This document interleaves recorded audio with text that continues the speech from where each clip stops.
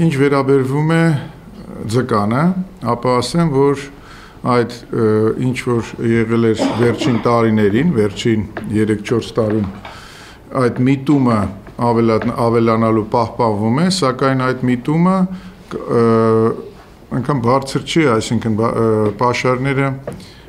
ավելացել են, բայց այնքան չեն ավելացել, ինչպես որ կարային ավելանային լավ պայմանների պարագայում, լավ պահպանության պարագայում բարձրացել է ընդամենը մի անցյալ տարվա վրա 100 տոննայով, այսինքն եթե անցյալ տարի գնահատվել էր արդյունագործական պաշարներ, ես խնդրում եմ դա նշել, որտեվ շատերը սխալ են ընկալում այս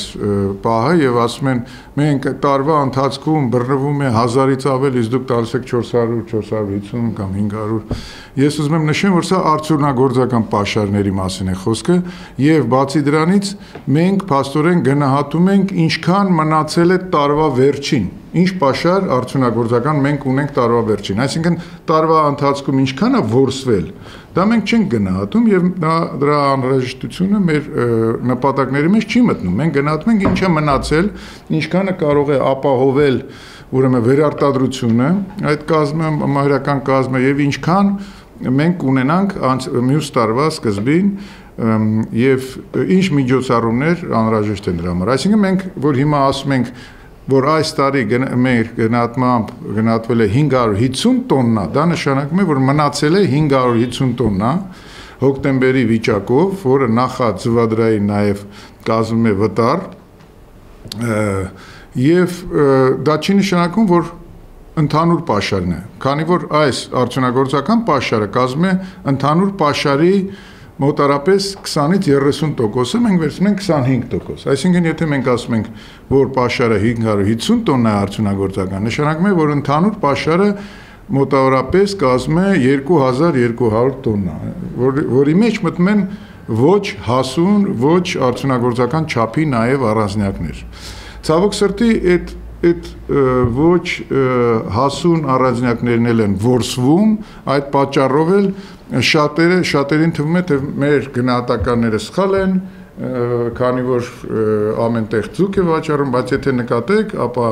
գարնան աշնա գարնան ամառվա սեզոնեն հիմնականում վաճառում է մանրաձուկ։ Բացի դրանից նաև այդ սերունդը, որ մտնում է մյուս տարվա մեջ, նա տարվա ընթացքում էլ է մեծանում եւ աշնանը արդեն մենք ունենում ենք արդյունագործական պաշար նաև։ Դրա համար այս գնահատականը, որ ես տալիս եմ,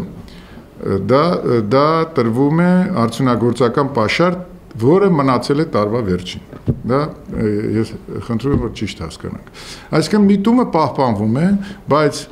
քանի որ շարունակվում է ասեմ ոչ օրինական որսը սիգի, ապա մենք ունենք ոչ այնքան ավելացում, ինչքան հնարավոր այդ պոտենցիալը ուներ այդ սիգի պոպուլյացիան։ Այսինքն եթե նրան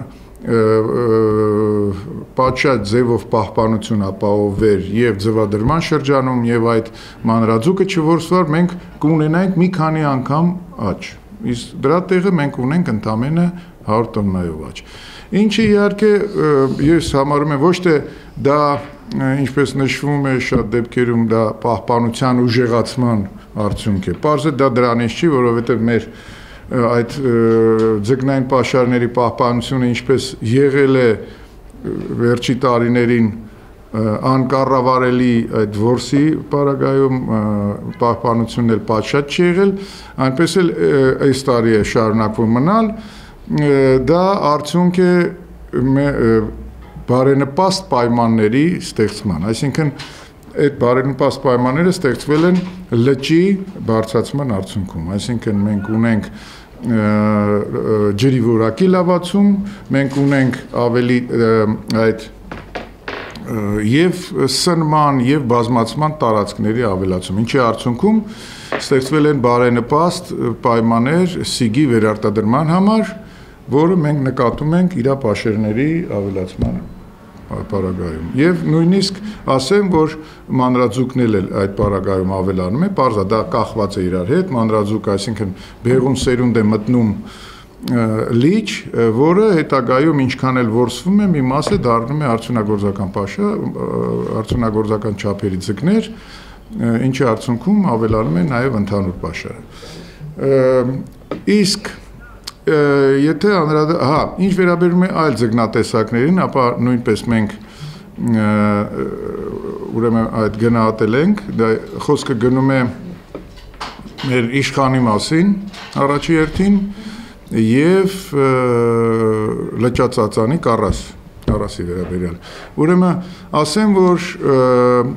իշխանի pašարներն էլ են նկատվում ավելացում, բայց ինչի հաշվին, որ գիտեք անցյալ տարի այդ ցածավանդակներից բաց թողնվեց բավականին մեծ քանակի զկներ լիճ եւ այդ պատճառով նրա pašարները շատացել են եւ մեր այսօրվա գնահատմամբ եթե չեմ սխալվում, մոտարապես 10 եկեք թիվը մի գրեք, բայց մոտարապես 14-ից 16 տոննա է հասնում՝ ի տարբերություն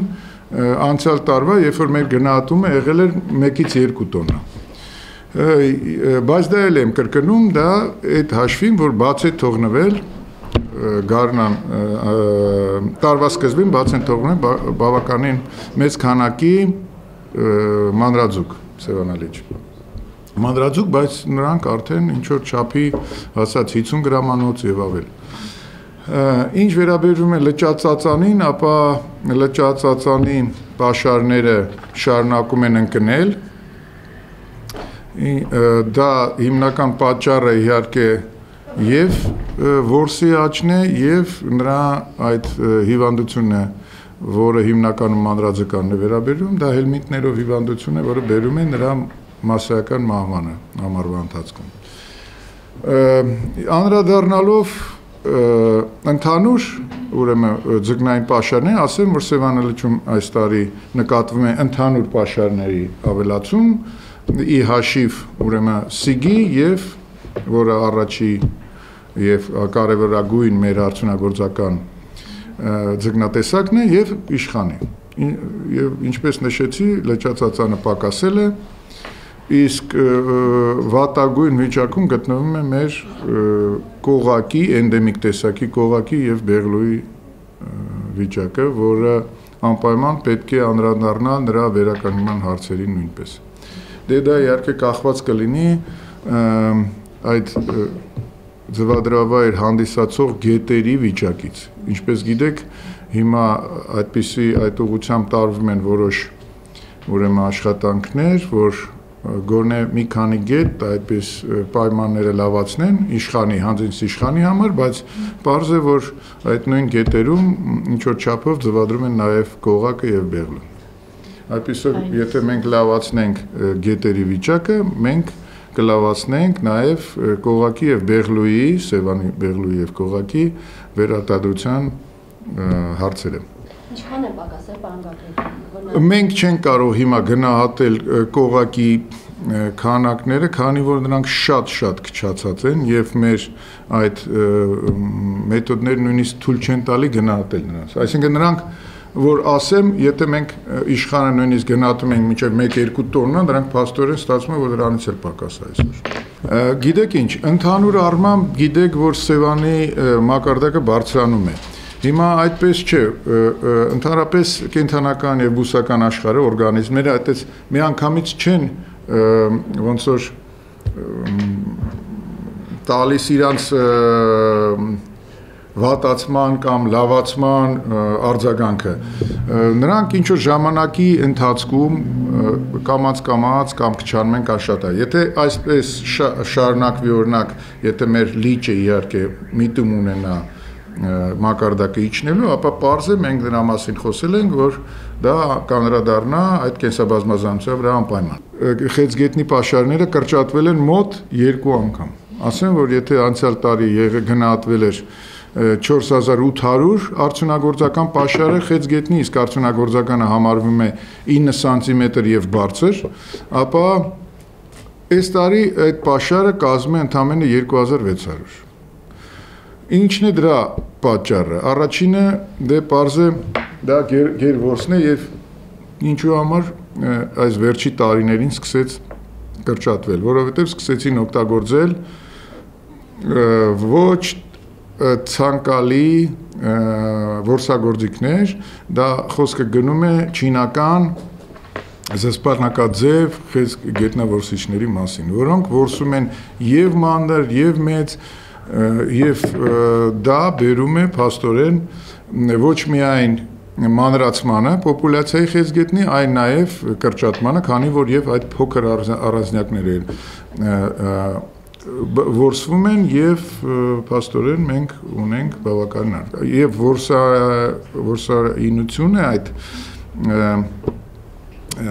բավականին բարձր է այդ գործիքների մի քանի անգամ